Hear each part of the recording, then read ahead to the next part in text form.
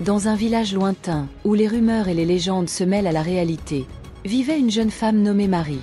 Marie était une jeune femme de 22 ans, avec des yeux couleur d'ébène et des cheveux noirs bouclés qui tombaient en cascade sur ses épaules. Sa peau brune éclatante et son sourire chaleureux la rendaient appréciée de tous dans le village. Pourtant, la vie ne l'avait pas épargnée.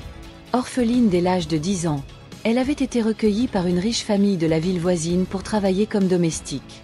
Marie était aimée pour sa gentillesse et sa dévotion, mais sa vie était marquée par des journées interminables de dur labeur. Sa principale tâche était de s'occuper du manoir de la famille Dupont, une vaste demeure aux murs de pierre ancienne et au jardin soigneusement entretenu. La maison appartenait à Monsieur Dupont, un homme strict et exigeant, et à Madame Dupont, une femme froide et distante. Marie avait peu de contact avec eux, se contentant de recevoir des instructions par l'intermédiaire de leurs enfants ou des autres domestiques.